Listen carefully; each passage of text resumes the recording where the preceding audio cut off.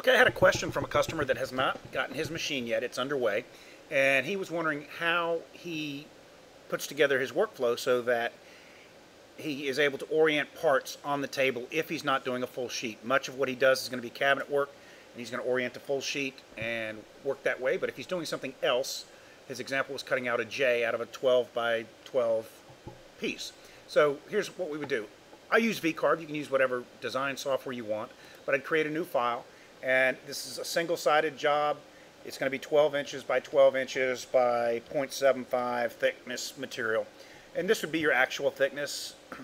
I often put the generic size when I'm designing it, but then when I machine it, I will modify it, and this is a 0.72, 0.77, depending on the material, that kind of thing. But get it the way you want, because you're going to cut down through that into the material. I typically touch my tool off on the top of the material surface, and then this is the part that he was not understanding exactly. So I'm going to change this to uh, 24 inches wide, uh, tall. So this will be basically oriented with the table long ways. It'll show a little better. Now, so we're going to touch the tool off to the top of the material, and then we pick here where our datum point is. This is our indexing point. This is the, basically when the machine is looking at the drawing file, the G-code, um, it's going to position everything from this point. So when we get to the machine, I'm going to position the tool using the console to the corner of the part. So in this case, I'm choosing the bottom left-hand corner. The only other one I typically do is the center sometimes, if it's an irregular size part. Say I'm carving something on a live edge piece, and it's, it's irregular, but I know that I've adjusted my, whatever I want to carve, the, the text, uh, and, and paste, placed it properly, I can do it from the center of the part too. So it's either this or this for me, the way I work. Doesn't matter. So we'll tell it okay, and that's basically here, this is the material that I'm working with. In his case, he wanted to do some text. So we go in and put in some text and pick our font. I'm going to type in the letter J, and I'm going to use this, Poor Richard, whatever. I'll make it 12 inches tall, or I'll change it to uh, 10 inches tall because he had a 12 by 12 hit tab and it re resizes it. Now, I can position this how I want by dragging it. Uh, I can use the left button and drag it. I can use the arrow keys and nudge it, or the continuous nudge, or I can center it based on other parameters, previous geometry that I've driven, I've drawn, uh, whatever I want to do. So I'm just going to center it there. So again, the, the point of this was showing how to orient a particular part on the full 4x8 table if he only wants to do something small. So I've basically got my geometry, my vectors the way I want, so I'm finished with this side, the design side. I'll flip over to the drawing side. It's always good to check here, and I'm orienting on the bottom left corner where the red dot is. I'm touching off the tool on the top of the material. I don't have any 3D items here. I'm just going to cut this out. So I'm going to cut outside that border, and that all looks good. I'm going to do a border cut using a quarter inch bit, uh, and I'll cut all the way through the material. So I'm going to do T plus 0.02 equal, so that's 0.77 because my material was 0.75. Uh, I'm going to change to a different tool and I'll do a quarter inch end mill. And I've got that set where I can go in a, a, a quarter inch deep and that's fine. I'm going to do this. I can pick on this on these vectors that make the J. I can do it outside, inside, or on it.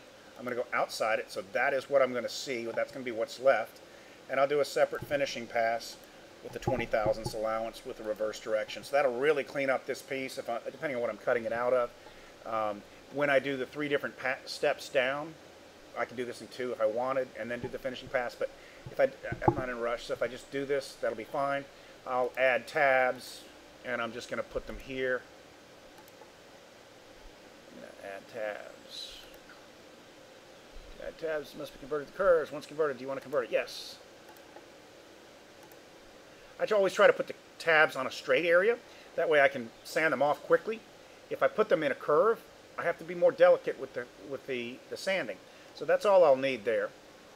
I could do one here too if I wanted. Um, and then I'll add ramps to it coming in. And, and I'll call that profile cutout. And then calculate and again, it's going to warn us, hey, we're going 0.77 deep on a 0.75 material. That's true. I'm cutting all the way through plus, plus 20 thousandths.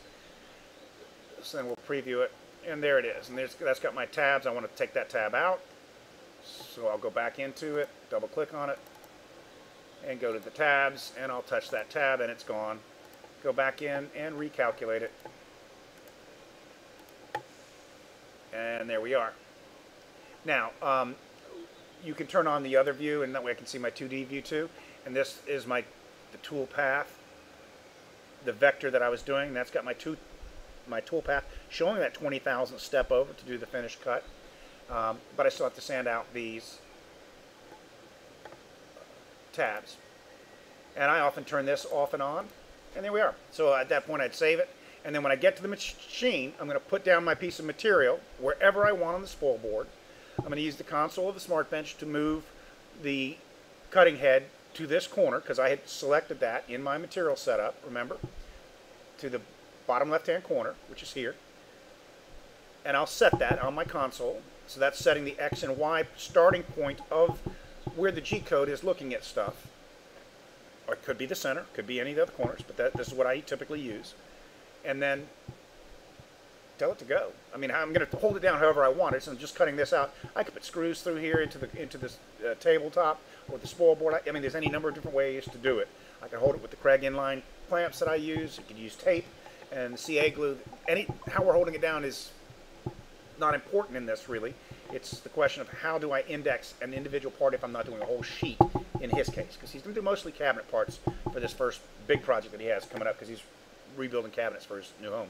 So um, that's basically it. We're, we're done. Uh, I'll take it the next step. The next step would be to save the G code and I would call this, uh, I'm just going to drop it down to uh,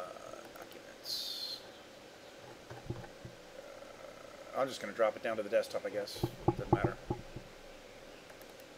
I'll just call this Jesse.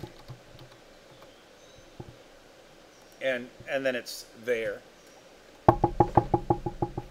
Then I would either carry it out to the machine on the USB stick or use uh, FileZilla or some other file transfer program to Wi-Fi it out there. That's what I do. I haven't used the files, the USB stick in months. Uh, I just don't use it. Um, but I don't have the machine on, so it won't it won't communicate to it. So, but you've seen other videos, plenty of videos on how to uh, do that uh, on my website. So that should hopefully answer if I'm doing a, an individual part and I want to put it on the table just to cut out something. How do I control where I put that part? It doesn't matter. Just put it anywhere on the table that you can, uh, that the machine can get to it. And when you run the program, it's going to ask you for your datum point when you set up that job file to run. And in this case, we're going to come here, click here, and that's it. We're going to touch the tool off to the top of the material or the spoil board. I usually do the top of the material and cut the job. So I hope that answers your questions. If I can answer anything else, please don't hesitate to call or email.